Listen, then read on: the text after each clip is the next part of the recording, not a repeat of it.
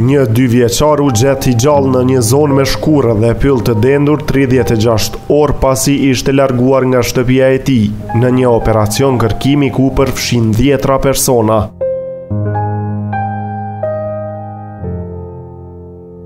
Banorët e zonës që dolën vullnetarë për të gjetur Noan, tregojnë se vogëlushi u gjet rreth 3 kilometra larg banesës së tij në Proença-a-Velha, një rajon i vogël në qendër të Portugalisë.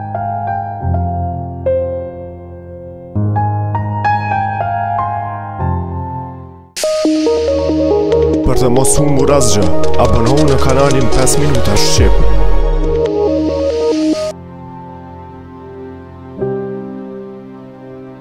Djali i vogël është në gjendje të mirë shëndetësore dhe po trajtohet në spital për dehidratim.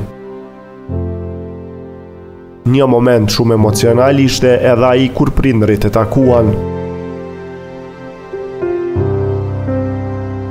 Noa raportohet të jetë larguar nga banesa në orët e para të mëngjesit, pasi babai i tij fermer kishte dalë për të punuar.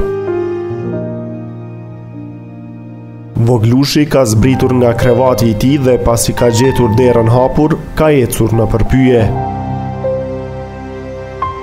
Sipas ekspertëve, mendohet se djali mund të ketë ecur deri në 10 km përreth zonës.